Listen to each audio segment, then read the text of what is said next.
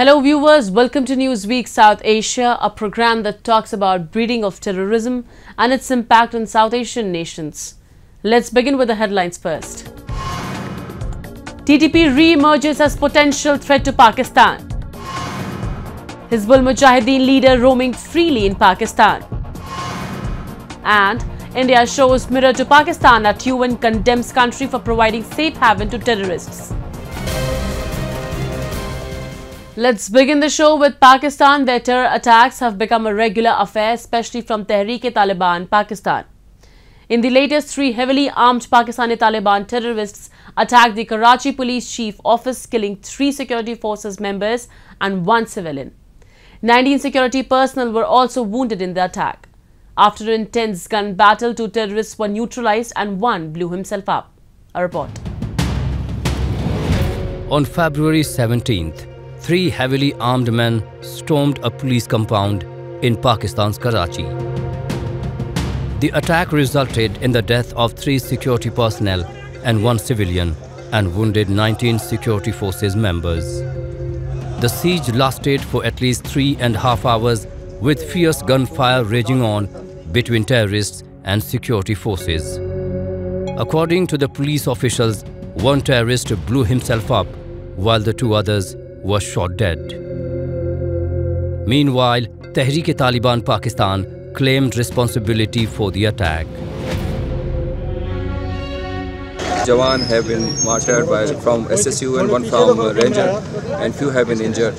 Uh, is being done and inshallah everything will be clear and uh, it's by the blessing of Allah the operation has been successful and three terrorists have been killed. Last month, more than 80 officers were killed when a suicide bomber detonated an explosive vest at a mosque inside a police compound in Peshawar. The suspicion directly fell on Tehreek-e-Taliban. It grew even stronger when Sarbakaf Mohmand claimed responsibility for the attack. However, TTP reversed course after the Afghan Taliban condemned the attack. The militancy has been using Khyber Pakhtunkhwa as its base. Since November, TTP has been engaged in a protracted conflict with Pakistan's police and army. The Pakistani government has been under fire from both domestic and foreign experts for concessions it has made to the Tehreek-e-Taliban Pakistan. These academics argue that Pakistan's morally repugnant practice of bargaining with radical organizations legitimizes terrorist goals. The idea of dangerous religious radicals proliferating in Pakistan and aiding the growth of international terrorist groups has long been a source of debate among the Islamic Republic's successive rulers. Pakistani deep state has managed to build a worldwide infrastructure of, uh, I would say, organized crime. And uh, they are beneficiaries of this kind of thing. I don't think internal institutions of Pakistan are in a position to restrain them. They have managed to brainwash uh, their whole generations and they believe that Pakistani dabbling with terrorism and organized crime is something which enhances the glory of Islam. A very strong pocket of Islamic radicalism they have managed to create where no questions are asked. Despite the fact that Pakistan has lost thousands of lives, the nation has not altered its strategy. Pakistan is directly contributing to the rise of Islamic terrorist danger in the nation by failing to prosecute several leaders of UN-proscribed terror groups and even going so far as to guarantee their security. Pakistan has long failed to take appropriate action to combat terrorism within and outside of the country. The country is now facing the consequences of its inaction and those suffering the most continue to be Pakistani citizens. India on February 23 exercised its right of reply at United Nations General Assembly against Pakistan and advised Islamabad to look at its own track record as a state that provides safe havens to terrorists. India slammed Pakistan after it referred to Jammu and Kashmir during a special session on Ukraine in the UN General Assembly, terming the provocation as regrettable and misplaced. A report. Pakistan's obsession with Kashmir is as old as its creation. For Kashmir, Pakistan staked its sovereignty, its identity, its economy, and even the lives of its citizens. Over decades, mass hysteria was created, and every Pakistani was expected to forfeit his life, property, and the future of his children, all for that mad dream called Kashmir. Despite fighting these three overt wars and carrying out numerous covert operations, Islamabad has clearly failed in its objective to annex Jammu and Kashmir. With Pakistan failing to get traction for its belligerent stand on Kashmir, the successive governments in the country raised the issue at all international forums, including at the UN General Assembly. India recently slammed Pakistan after it referred to Jammu and Kashmir during a special session on Ukraine in the UN General Assembly, terming the provocation as regrettable and misplaced. While exercising its right of reply at UNGA against Pakistan, India advised Islamabad to look at its track record as a state that provides safe havens to terrorists. Uh, Mr. President, I am taking the floor today to say that India chooses this time not to respond to Pakistan's mischievous provocations. Our advice to the delegate of Pakistan is to refer to our numerous rights of reply that we have exercised in the past. Pakistan has only to look at itself and its own track record as a state that harbors and provides safe havens to terrorists and does so with impunity. Such uncalled for provocation is particularly regrettable and certainly misplaced at a time when after two days of intense discussions, we have all agreed that the path of peace can be the only path forward to resolve conflict and discord. It is not surprised that Islamabad's representative misused the UN forum yet again. Islamabad misuses international platforms for baseless and malicious propaganda against India. As a country with one of the world's worst human rights records, Pakistan would do well to put its own house in order before venturing to point a finger at India. हमें किसी किस्म की कोई आज़ादी नहीं है हमारे तमाम नेचुरल रिसोर्स पे आर्मी कब्जा किए हुए है। और फिर सबसे बड़े जुल्म की बात यह है कि हमारी फॉरेस्ट लैंड जो है, वो आर्मी ने अलाट करवा दी है डिफरेंट एरियाज़ के अंदर। और जितने भी टूरिस्ट रिजॉर्ट्स थे उन पर कब्ज़ा करके मकामी लोगों के लिए उन एरियाज़ को बैन कर दिया। Pakistan is blamed and rightly so for what it did in Kashmir, introduced militancy and the gun culture that kills people and leaves lives shattered. Pakistan's problem is that it never admits to their fault lines. Pakistan's Prime Minister Shehbaz Sharif recently said that Pakistan has learnt a lesson and wants to live in peace with India. He emphasized that both the neighbors should not waste their resources on bombs and ammunition. However, with Pakistan, peace is just a punctuation. After Narendra Modi took over as the Prime Minister of India in 2014, he made it clear that talks and terror cannot go together. If Pakistan is really serious about restoring permanent peace, then it should give up its obsession with Kashmir and stop sponsoring terror. Then only it can build a healthy relationship with India. Just talking about peace is not enough.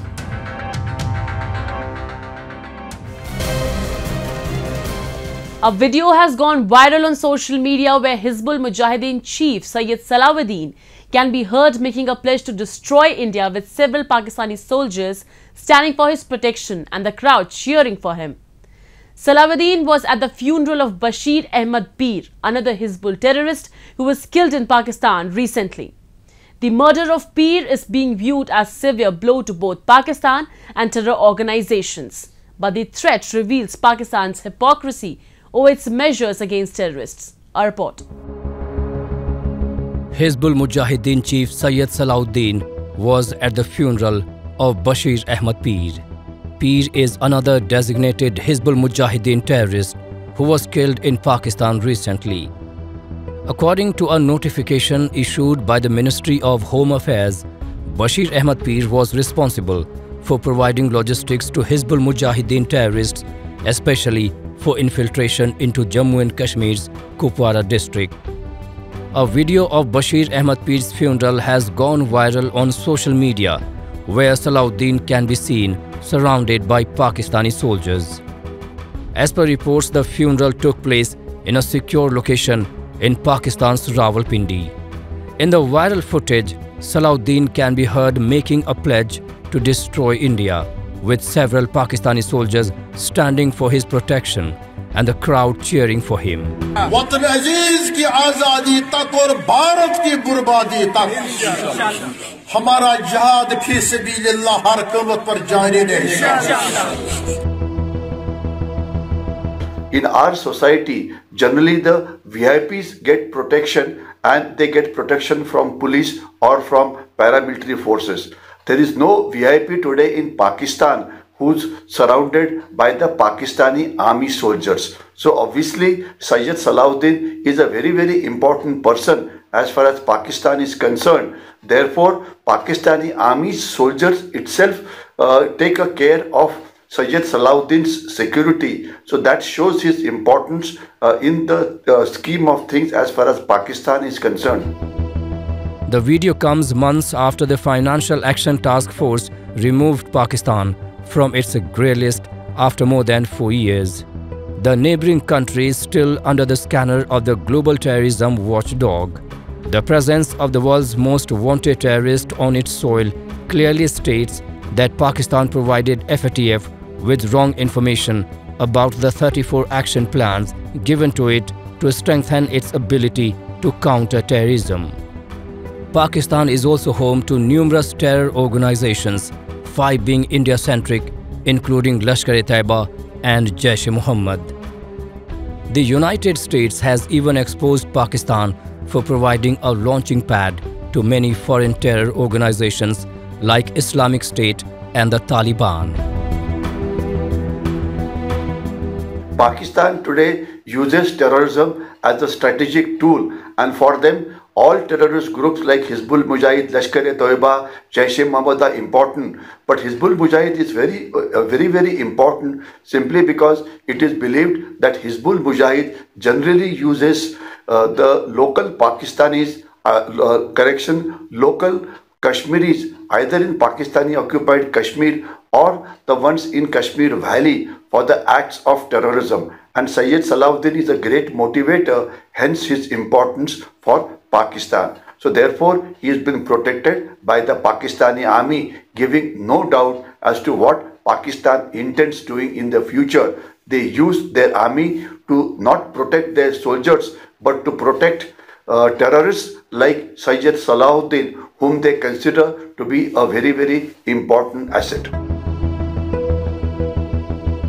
Pakistan's list of FATF shared actionable items does not accurately represent its commitment to battling terrorism.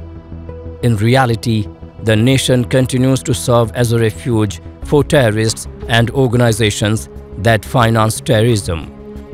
The biggest example is the lack of action against Talha Saeed, the new face of Jamaat Dawa organization and the son of 2611 mastermind Hafiz Saeed. According to intelligence agencies, Talha is next in link to take over functions of JUD, the parent body of the globally proscribed terror outfit Lashkar-e-Taiba. Despite mounting evidence implicating Pakistan in funding international terrorism, the government has made little progress against it at home.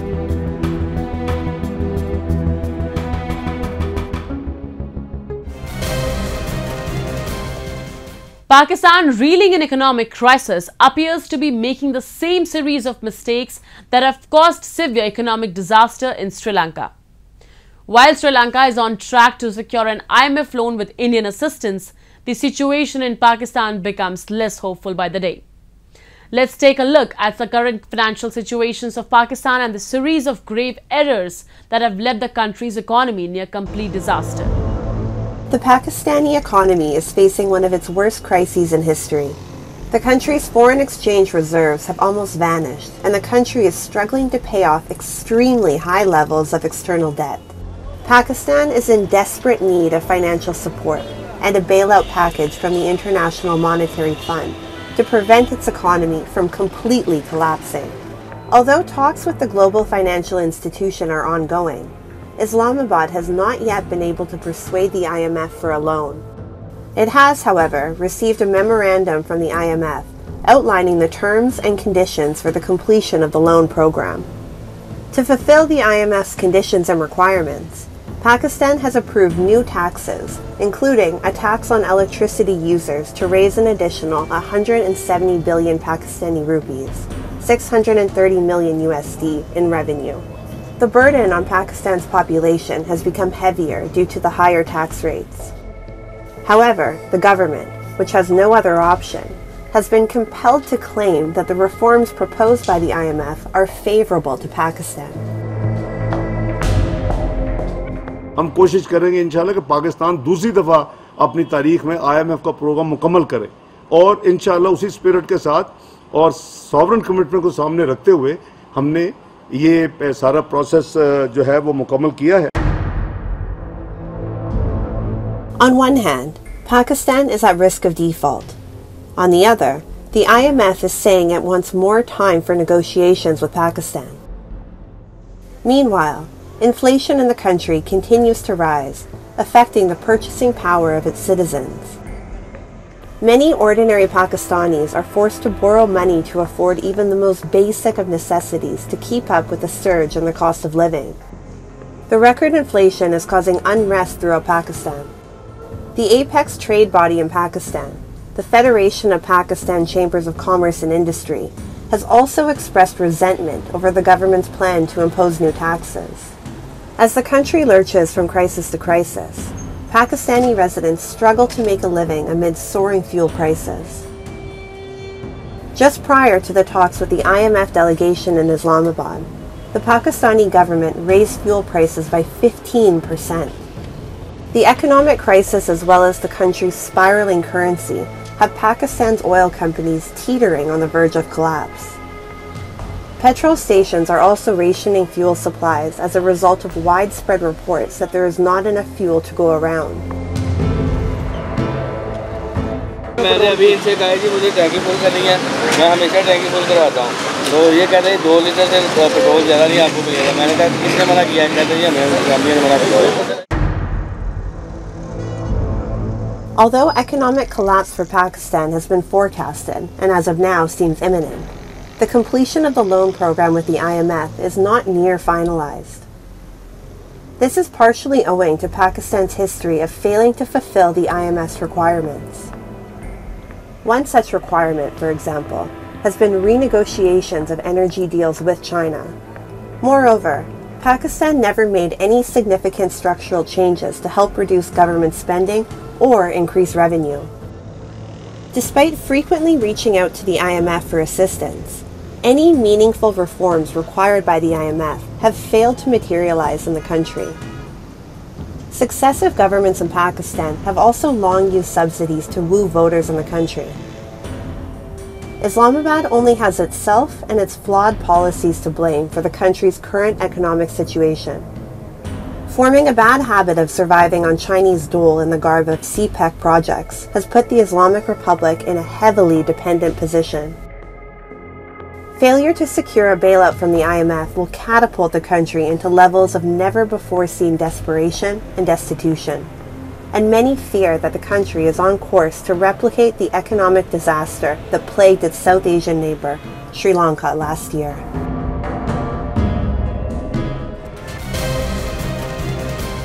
And with that, we come to the end of this edition of Newsweek South Asia. We'll be back next week with more news, views and analysis from the subcontinent. Meanwhile, do keep writing to us at nwsa at nin.com. This is Shivangi Mishra signing off on the behalf of the entire production team of Newsweek South Asia. Goodbye and take care.